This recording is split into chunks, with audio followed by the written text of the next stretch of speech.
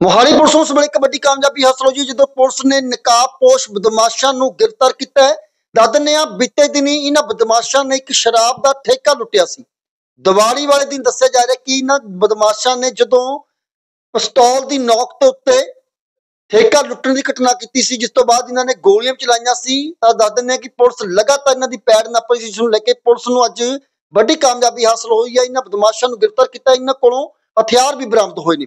ਇਹ ਤਸਵੀਰਾਂ ਤੁਹਾਨੂੰ ਦਿਖਾ ਰਹੇ ਹਾਂ ਮੋਹਾਲੀ ਜਿੱਥੇ ਕਿ ਅੱਜ ਐਸਐਸਪੀ ਮੋਹਾਲੀ ਵੱਲੋਂ ਪ੍ਰੈਸ ਕਾਨਫਰੰਸ ਕੀਤੀ ਉਸ ਦੇ ਵਿੱਚ ਵੱਡੇ ਖੁਲਾਸੇ ਕੀਤੇ ਨੇ, ਕਿਵੇਂ ਇਹਨਾਂ ਨੇ ਉਸ ਠੇਕੇ ਨੂੰ ਨਿਸ਼ਾਨਾ ਬਣਾਇਆ ਤਾਂ ਪੂਰੀ ਲੁੱਟ ਦਾ ਜਿਹੜਾ ਇਰਾਦਾ ਸੀ, ਕਿਵੇਂ ਇਹਨਾਂ ਨੇ ਵਿਉਂਤਬੰਦੀ ਕੀਤੀ ਹੈ, ਇਹ ਪੂਰੀ ਘਟਨਾ ਅੱਜ ਮੋਹਾਲੀ ਵੱਲੋਂ ਦੱਸੀ ਗਈ ਹੈ ਕਿ ਕਿਸ ਤਰੀਕੇ ਦਾ ਨਕਾਬਪੋਸ਼ ਬਦਮਾਸ਼ਾਂ ਨੇ ਇਸ ਠੇਕੇ ਨੂੰ ਲੁੱਟ ਕੇ ਜਿਹੜਾ ਕੈਸ਼ ਲੁੱਟ ਲਿਆ ਗਿਆ ਸੀ, ਉਸ ਤੋਂ ਬਾਅਦ ਜਾ ਕੇ ਇੱਥੋਂ ਫਰਾਰ ਹੋ ਗਏ ਸੀ, ਤਾਂ ਪੁਲਿਸ ਨੇ ਦੱਸਿਆ ਕਿ ਇੱਕ ਜਿਹੜਾ ਇਸ ਦੇ ਵਿੱਚ ਬਦਮਾਸ਼ ਹੈ, ਉਹ ਪੰਚਕੂਲੇ ਦਾ ਰਹਿਣ ਵਾਲਾ ਜਿਸ ਦੇ ਉੱਤੇ ਪਹਿਲਾਂ ਹੀ ਮੁਕੱਦਮੇ ਦਰਜ ਹੈ ਤੇ 18 ਸਾਲ ਦੀ ਉਮਰ ਦੇ ਵੀ ਇਸ ਦੇ ਵਿੱਚ ਨੌਜਵਾਨ ਹੈ ਜਿਨ੍ਹਾਂ ਨੇ ਇਸ ਵੱਡੀ ਘਟਨਾ ਨੂੰ ਅੰਜਾਮ ਦਿੱਤਾ ਸੀ। ਜਿਸ ਤੋਂ ਬਾਅਦ ਪੁਲਿਸ ਨੇ ਵੱਡੀ ਕਾਮਯਾਬੀ ਹਾਸਲ ਕਰਕੇ ਵੱਡੇ ਖੁਲਾਸੇ ਵੀ ਕੀਤੇ ਨੇ। ਤੇ ਇਸ ਨੂੰ ਲੈ ਕੇ ਐਸਐਸਪੀ ਮੋਹਾਲੀ ਵੱਲੋਂ ਪੂਰੀ ਜਾਣਕਾਰੀ ਕੀ ਦਿੱਤੀ ਹੈ ਇਹ ਵੀ ਤੁਸੀਂ ਸੁਣੋ।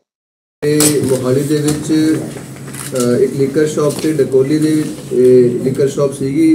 1/11/24 ਨੂੰ ਉੱਥੇ ਜਿਹੜੀ ਹੈਗੀ ਹੈ ਇੱਕ ਵਾਰਦਾਤ ਹੋਈ ਸੀ ਰੋਬਰੀ ਦੀ ਜਿਸ ਦੇ ਵਿੱਚ ਚਾਰ ਇੰਡੀਵਿਜੂਅਲ ਆਏ ਸੀਗੇ, ਇਹਨਾਂ ਨੇ ਆਣ ਕੇ ਉੱਥੇ ਜੋ ਹੈ ਫਾਇਰਿੰਗ ਵਗੈਰਾ ਕੀਤੀ ਸੀ ਤੇ ਲੁੱਟ ਵਗੈਰਾ ਕਰਕੇ ਲੈ ਗਏ ਸੀਗੇ। ਉਹ ਵਾਰਦਾਤ ਕਾਫੀ ਮਿਹਨਤ ਨਾਲ ਕਾਫੀ ਦਿਨ ਤੋਂ ਪਿੱਛੇ ਲੱਗੇ ਰਹੇ ਹਿਊਮਨ ਇੰਟੈਲੀਜੈਂਸ ਟੈਕਨੀਕਲ ਸੋਰਸਸ ਵਗੈਰਾ ਯੂਜ਼ ਕਰਕੇ। ਸਾਡੀ ਜਿਹੜੀ ਟੀਮ ਹੈ SPD DSPD incharge CIA SP rural DSP Zirakpur, ਇਹਨਾਂ ਦੇ inspector SHO Dakoli inspector Deepinder ਤੇ ਬਾਕੀ ਮੁਲਾਜ਼ਮਾਂ ਨੇ ਮਿਲ ਕੇ ਕਾਫੀ ਮਿਹਨਤ ਕਰਕੇ ਕੇਸ ਟ੍ਰੇਸ ਕੀਤਾ ਹੈ ਸੋ ਇਸ ਦੇ ਵਿੱਚ ਹੋਇਆ ਇਹ ਸੀਗਾ ਕਿ ਲੀਕਰ ਸ਼ਾਪ ਤੇ ਆ ਕੇ ਤਿੰਨ ਜਿਹੜੇ ਨਕਾਬਪੋਸ਼ ਵਿਅਕਤੀ ਸੀਗੇ ਅੰਦਰ ਆ ਕੇ ਉਹਨਾਂ ਨੇ ਫਾਇਰਿੰਗ ਕੀਤੀ ਸੀਗੀ ਜਿਹੜੀ ਫਾਇਰਿੰਗ ਦੇ ਵਿੱਚ ਜਿਹੜੀ ਹੈਗੀ ਇੱਕ ਵਿਅਕਤੀ ਦੇ ਗੋਲੀ ਵੀ ਲੱਗੀ ਸੀਗੀ ਜੋ ਕਿ ਪੀਜੀ ਦਾਖਲ ਹੈ ਜਿਹੜੇ ਇਲਾਜ ਹੈਗਾ ਇਹ ਚਾਰ ਵਿਅਕਤੀ ਇਹਦੇ ਵਿੱਚ ਸ਼ਾਮਿਲ ਸੀਗੇ ਇੱਕ ਵਿਅਕਤੀ ਜਿਹੜਾ ਕਿ ਬਾਹਰ ਸੀਗਾ ਮੋਟਰਸਾਈਕਲ ਤੇ ਸੋ ਇਹ ਚਾਰੇ ਜਿਹੜੇ ਹੈਗੇ ਗ੍ਰਿਫਤਾਰ ਕਰ ਲਏ ਗਏ ਨੇ। ਇਹਨਾਂ ਦੀ ਸੂਚਨਾ ਜਿਹੜੀ ਡਿਟੇਲ ਹੈਗੀ ਹੈ ਉਹ ਇਸ ਪ੍ਰਕਾਰ ਹੈਗੀ ਹੈ ਪਹਿਲੇ ਦਾ ਨਾਮ ਹੈ ਨਿਸ਼ਾਂਤ ਰਾਣਾ।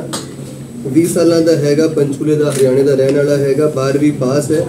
ਇਹਦੇ ਤੇ ਪਹਿਲਾਂ ਜਿਹੜਾ ਹੈਗਾ ਫਰਾਡ ਦਾ ਪਰਚਾ, ਇੱਕ ਪੀਐਸ ਚੰਡੀ ਮੰਦਿਰ ਸੈਕਟਰ 1 ਪੰਚਕੂਲਾ ਦੇ ਵਿੱਚ ਅਰੈਸਟ ਕੀਤਾ ਗਿਆ ਸੀ, ਹਰਿਆਣੇ ਚੱਲਦਾ ਦੂਜਾ ਮਨਵੀਰ ਹੈ 22 ਸਾਲ ਦੀ ਉਮਰ ਹੈ, ਇਹ ਵੀ ਹਰਿਆਣੇ ਪੰਚਕੂਲੇ ਦਾ ਰਹਿਣ ਵਾਲਾ ਹੈਗਾ 8ਵੀਂ ਪਾਸ ਹੈਗਾ। ਇਹਦੇ ਵੀ ਐਕਸਾਈਜ਼ ਐਕਟ ਦਾ ਇੱਕ ਪਰਚਾ ਸੈਕਟਰ 7 ਪੰਚਕੂਲਾ ਦੇ ਵਿੱਚ ਦਰਜ ਹੈ।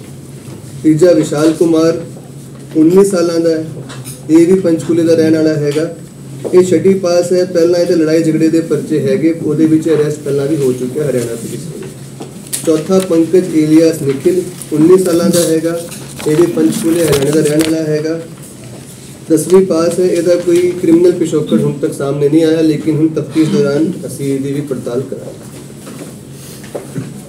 ਇਹਨਾਂ ਤੋਂ ਵਾਰਦਾਤ ਦੇ ਵਿੱਚ ਵਰਤੇ ਗਏ ਜਿਹੜੇ ਪਿਸਤੌਲ ਹੈਗੇ 315 ਬੋਰ ਦੇ ਇੱਕ ਲਾਈਵ ਕਾਰਟ੍ਰਿਜ ਤੇ ਦੋ ਐਮਟੀ ਕਾਰਟ੍ਰਿਜ ਬਰਾਮਦ ਹੋਏ ਨੇ।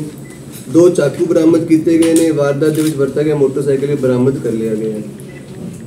ਤੋ ਤਫਤੀਸ਼ ਦੌਰਾਨ ਹੁਣ ਤੱਕ ਜਿਹੜੀ ਮੁੱਢਲੀ ਤਫਤੀਸ਼ ਦੇ ਵਿੱਚ ਸਾਹਮਣੇ ਆਇਆ ਹੈ ਕਿ ਇਹ ਉੱਤਰ ਪ੍ਰਦੇਸ਼ ਤੋਂ ਜਾ ਕੇ ਜਿਹੜੇ ਦੋ ਇਲੀਗਲ ਵੈਪਨ ਲੈ ਕੇ ਆਏ ਸੀਗੇ ਸੋ ਇਹਨਾਂ ਦਾ ਇਰਾਦਾ ਇਹੀ ਸੀਗਾ ਲੁੱਟ ਖੋਦੀ ਇਸ ਤਰੀਕੇ ਦੀ ਰੋਬਰੀ ਦੀ ਵਾਰਦਾਤ ਨੂੰ ਅੰਜਾਮ ਦੇਣਾ। ਸਹੀ ਕਿਸੇ ਗੈਂਗ ਦੇ ਹੁਣ ਤੱਕ ਤਾਂ ਜੀ ਚਾਰ ਜਿਹੜੇ ਹੈਗੇ ਇਕੱਠੇ ਆਪਸ ਚ ਲੱਗ ਰਹੇ ਇਹ ਇਹਨਾਂ ਨੇ ਰਲ ਕੇ ਕੀਤਾ ਹੈ। ਸੋ ਕੋਈ ਹੋਰ ਕਿਸੇ ਪੁਰਾਣੇ ਨਾਮੀ ਗੈਂਗ ਨਾਲ ਕੋਈ ਐਂਗਲ ਹੁਣ ਤੱਕ ਤਾਂ ਸਾਹਮਣੇ ਨਹੀਂ? ਸਰ ਹੁਣ ਤੱਕ ਦੀ ਇਨਵੈਸਟੀਗੇਸ਼ਨ 'ਚ ਕੁਝ ਆਇਆ ਕਿ ਇਹਨਾਂ ਨੇ ਪਹਿਲਾਂ ਕੋਈ ਰੈਕੀ ਕੀਤੀ ਪੂਰੀ ਪਲੈਨਿੰਗ ਦੇ ਤਹਿਤ ਕੀਤਾ ਜਾਂ ਫਿਰ ਆ ਕੇ ਇਹਨਾਂ ਨੇ ਵਾਰਦਾਤ ਕੀਤੀ?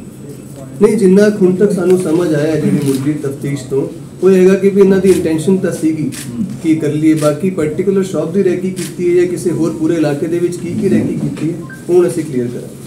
ਸਰ ਕਿੱਥੋਂ ਗ੍ਰਿਫਤਾਰ ਕੀਤਾ ਇਹਨਾਂ ਨੂੰ? ਇਹ ਜਿਹੜੀ ਪ੍ਰੈਸ ਨੋਟ ਦੀ ਵੀ ਡਿਟੇਲ ਸਾਰੀ ਸ਼ੇਅਰ ਕਰਾਂਗੇ ਪੰਚਕੂਲਾ।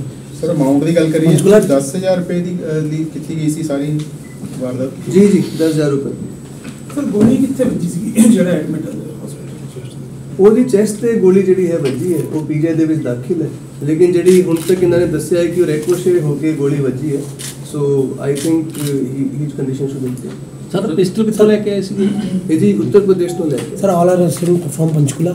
ਚਾਰ ਵਿਅਕਤੀ ਅਰੈਸਟ ਹੋ ਗਏ ਜੀ ਉਹ ਡਿਟੇਲ ਅਰੈਸਟ ਦੀ ਲੋਕੇਸ਼ਨ ਦੀ ਡਿਟੇਲ ਪ੍ਰੈਸ ਨੋਟ ਦੇ ਸਰ ਇਹ ਜਿਹੜੀ ਬਾਈਕ ਤੇ ਆਈ ਸੀ ਜਿੱਦਾਂ ਤੁਸੀਂ ਕਿਹਾ ਕਿ ਬਾਈਕ ਤੇ ਵੇਟ ਕਰ ਰਹੇ ਸੀ ਉਹ ਬਾਈਕ ਵੀ ਚੋਰੀ ਦੀ ਹੈ ਜਾਂ ਸਨੈਚਿੰਗ ਦੀ ਹੈ? ਹੁਣ ਤੱਕ ਦੀ ਇਨਵੈਸਟੀਗੇਸ਼ਨ 'ਚ ਕੁਝ ਆਇਆ ਕਿਉਂਕਿ ਜਿੱਦਾਂ ਕਿਹਾ ਤੁਸੀਂ ਕਿ ਇਹਨਾਂ ਦੀ ਇੰਟੈਂਸ਼ਨ ਨਹੀਂ ਸੀ ਕਿ ਲੁੱਟ ਦੀ ਵਾਰਦਾਤ ਨੂੰ ਅੰਜਾਮ ਦੇ ਇਹ ਬਾਈਕ ਜਿਹੜੀ ਹੈਗੀ ਉਹਦੀ ਅਸੀਂ ਮਾਲਕੀ ਤਸਦੀਕ ਕਰ ਰਹੇ ਹਾਂ ਕਿ ਦੀਦੀ ਕਈ ਵਾਰ ਕੀ ਹੁੰਦਾ ਕਿ ਬਾਈਕ ਕਿਸੇ ਤੋਂ ਲੈ ਕੇ ਉਹ ਟ੍ਰਾਂਸਫਰ ਨਹੀਂ ਹੁੰਦੀ।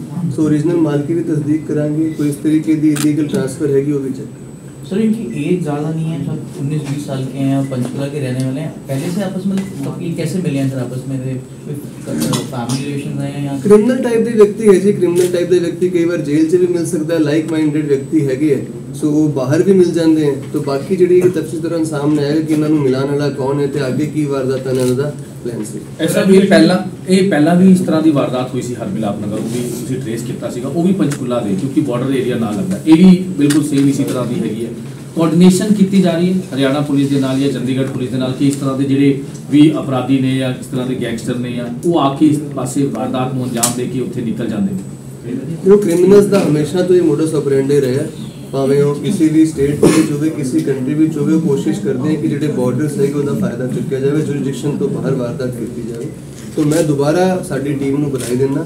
ਇਹਨਾਂ ਨੇ ਬਹੁਤ ਮਿਹਨਤ ਨਾਲ ਕਾਫੀ ਦਿਨ ਲਗਾ ਕੇ ਜਿਹੜਾ ਇਸ ਕੇਸ ਨੂੰ ਫੇਸ ਕੀਤਾ ਆਪਣੇ ਪੂਰਾ ਆਪਣੇ ਐਫਰਟ ਨਾਲ ਸਰ ਕੁਆਲੀਫਿਕੇਸ਼ਨ ਕੀ ਹੈ ਇਹਨਾਂ ਦੀ? ਕਿੰਨੇ ਕੁ ਪੜ੍ਹੇ ਹੈ ਦੱਸਿਆ ਸੀ ਜੀ ਪਹਿਲਾਂ ਵੀ ਉਸੇ ਜੋ ਤਾਂ 10ਵੀਂ 8ਵੀਂ 12ਵੀਂ ਪਾਸ ਹੀ ਹੈਗੇ ਉਹ ਤੋਂ ਬਾਅਦ ਕੋਈ ਨਹੀਂ ਤੇ ਪੜਿਆ ਨਸ਼ਾ ਪੱਤਾ ਤਾਂ ਨਹੀਂ ਕਰਦੇ ਨਸ਼ਾ ਪੱਤਾ ਹੁਣ ਤੱਕ ਤਾਂ ਸਾਹਮਣੇ ਨਹੀਂ ਆਇਆ ਬਟ ਇਸ ਤੋਂ ਇਨਕਾਰ ਨਹੀਂ ਕਰ ਸਕਦੇ। ਜਨਰਲ ਦੇਖਿਆ ਗਿਆ ਹੈ ਕਿ ਇਸ ਤਰੀਕੇ ਦੀ ਲੁੱਟ ਖਸੋੜ ਦੀ ਵਾਰਦਾਤ ਦੇ ਵਿੱਚ ਨਸ਼ੇ ਪੱਤੇ ਦਾ ਐਂਗਲ ਵੀ ਹੋ ਸਕਦਾ ਐਸਾ ਵੀ ਜਾ ਰਹੀ ਨੇ ਜਾਂ ਹੋਰ ਵੀ ਕੋਈ ਇਨਵੋਲਵ ਹੋ ਸਕਦੇ ਨੇ ਇਹਦੇ ਵਿੱਚ ਹਜੇ ਤੱਕ ਇਹ ਤੋਂ ਇਨਵੈਸਟੀਗੇਸ਼ਨ ਇਨਕਾਰ ਨਹੀਂ ਕਰ ਸਕਦੇ ਜੀ ਹੋ ਸਕਦਾ ਹੋਰ ਵੀ ਸਾਥੀ ਹੋਣ। That will figure out sir fraud ਦੀ ਗੱਲ ਕੀਤੀ ਹੋਈ ਕਿ ਨਿਸ਼ਾਂਤ ਨੇ ਪਹਿਲੇ ਕੋਈ ਫਰਾਡ ਕੀਤਾ ਸੀ? ਕੀ ਫਰਾਡ ਕੀਤਾ ਸੀ ਸਰ? ਉਹ ਤਾਂ ਜੀ ਹੁਣ ਬੇਸਿਕ ਐਫ ਆਰ ਸਾਡੇ ਕੋਲ ਇਹਨਾਂ ਨੇ ਦੱਸੀ ਹੈ। ਉਹ ਐਫ ਆਰ ਡਿਟੇਲ ਕਢਾ ਕੇ ਦੇਖਾਂਗੇ ਕੀ ਸਰ ਵੈਪਨਸ ਇਹਦੇ ਵਿੱਚ ਈਜ਼ੀਲੀ ਅਵੇਲੇਬਲ ਹੋ ਜਾਂਦੇ ਨੇ। ਕੋਈ ਸਪਲਾਇਰ ਇਹਨਾਂ ਨੂੰ ਦੇ ਕੇ ਜਾਂਦਾ ਤੇ ਆਪ ਲੈ ਕੇ ਆਉਂਦਾ? ਕਿਵੇਂ ਲੈ ਆਉਂਦੇ ਨੇ ਸਰ? ਇਹ ਹੁਣ ਤੱਕ ਤਾਂ ਇਹ ਕਹਿ ਰਹੇ ਕਿ ਅਸੀਂ ਆਪ ਜਾ ਕੇ ਲੈ ਕੇ ਆਏ ਹਾਂ। ਬਟ ਫਿਰ ਵੀ we will have to establish it ਕਿ ਜੇ ਲੈ ਕੇ ਆਏ ਤਾਂ ਅਸੀਂ ਉਸ ਬੰਦੇ ਤੱਕ ਵੀ ਜਾਵਾਂਗੇ ਇਹਦੀ ਬੈਕਵਰਡ ਲਿੰਕੇਜ ਵੀ ਕਰਾਂਗੇ। ਦੇਖਾਂਗੇ ਐਕਚੁਅਲ ਸਪਲਾਇਰ ਹੈ। ਦਰਸ਼ਨ ਲੈ ਕੇ ਤੁਸੀਂ ਸੁਣਿਆ ਕਿ ਐਸਐਸਪੀ ਮੋਹਾਲੀ ਵੱਲੋਂ ਕੋਈ ਜਾਣਕਾਰੀ ਦਿੱਤੀ ਗਈ ਹੈ। ਉਹਨਾਂ ਨੂੰ ਦੱਸਿਆ ਗਿਆ ਕਿਸ ਤਰੀਕੇ ਦੇ ਨਾਲ ਬਦਮਾਸ਼ਾਂ ਨੇ ਠੇਕੇ ਲੁੱਟਣ ਦੀ ਘਟਨਾ ਨੂੰ ਅੰਜਾਮ ਦਿੱਤਾ ਹੈ। ਪੁਲਿਸ ਵੱਲੋਂ ਦੱਸਿਆ ਗਿਆ ਕਿ ਭਾਵੇਂ ਕਿੰਨਾ ਵੀ ਸ਼ਾਤਰ ਬਦਮਾਸ਼ ਹੋਵੇ ਤਾਂ ਪੁਲਿਸ ਉਸ ਨੂੰ ਗ੍ਰਿਫਤਾਰ ਕਰਨ ਦੇ ਵਿੱਚ ਹਮੇਸ਼ਾ ਕਾਮਯਾਬ ਹੁੰਦੀ ਹੈ। ਪਹਿਲਾਂ ਵੀ ਕਈ ਗੈਂਗਸਟਰਾਂ ਨੂੰ ਕਾਬੂ ਕੀਤਾ ਤੇ ਇਸ ਨੂੰ ਲੈ ਕੇ ਜੋ ਲੁਟੇਰੇ ਨੇ, ਚੋਰੀਆਂ ਕਰਨ ਵਾਲੇ ਨੇ, ਲੁੱਟਣ ਵਾਲੇ ਨੇ, ਤਾਂ ਉਹਨਾਂ ਨੂੰ ਵੀ ਪੁਲਿਸ ਲਗਾਤਾਰ ਟ੍ਰੇਸ ਕਰਕੇ ਉਹਨਾਂ ਦੀ ਗ੍ਰਿਫਤਾਰੀ ਪਾਉਂਦੀ ਹੈ ਤੇ ਇਸ ਨੂੰ ਲੈ ਕੇ ਪੁਲਿਸ ਨੇ ਇਹ ਗੱਲ ਦਾ ਖੁਲਾਸਾ ਕੀਤਾ ਕਿ ਬਦਮਾਸ਼ ਇਹ ਨਾ ਸੋਚਣ ਕਿ ਪੁਲਿਸ ਦੀ ਨਜ਼ਰ ਤੋਂ ਬਚ ਸਕਣਗੇ, ਪਰ ਪੁਲਿਸ ਲਗਾਤਾਰ ਇਸ ਤਰੀਕੇ ਦੀ ਜਿਹੜੀ ਵਾਰਦਾਤ ਹੁੰਦੀ ਹੈ, ਨਾਲ ਦੀ ਨਾਲ ਉਹਨੂੰ ਟ੍ਰੇਸ ਕਰ ਲੈਂਦੀ ਹੈ। ਮੋਹਾਲੀ ਪੁਲਿਸ ਦੀ ਇਹੀ ਖਾਸੀਅਤ ਹੈ ਕਿ ਪਹਿਲਾਂ ਵੀ ਇਸ ਤਰੀਕੇ ਦੀ ਘਟਨਾਵਾਂ ਨੂੰ ਪੁਲਿਸ ਨੇ ਬੜੀ ਛੇਤੀ ਸੁਲਝਾਇਆ, ਜਿਸ ਨੂੰ ਲੈ ਕੇ ਐਸਪੀ ਮੋਹਾਲੀ ਵੱਲੋਂ ਵੱਡੇ ਖੁਲਾਸੇ ਕੀਤੇ ਨੇ। ਤੇ ਹੋਰ ਖਬਰਾਂ ਦੇਖਣ ਲਈ ਵੱਧ ਤੋਂ ਵੱਧ ਚੈਨਲ ਨੂੰ ਸਬਸਕ੍ਰਾਈਬ ਕਰ ਦਿਓ। ਇਸ ਖਬਰ ਨੂੰ ਵੱਧ ਤੋਂ ਸ਼ੇਅਰ ਕਰਿਓ।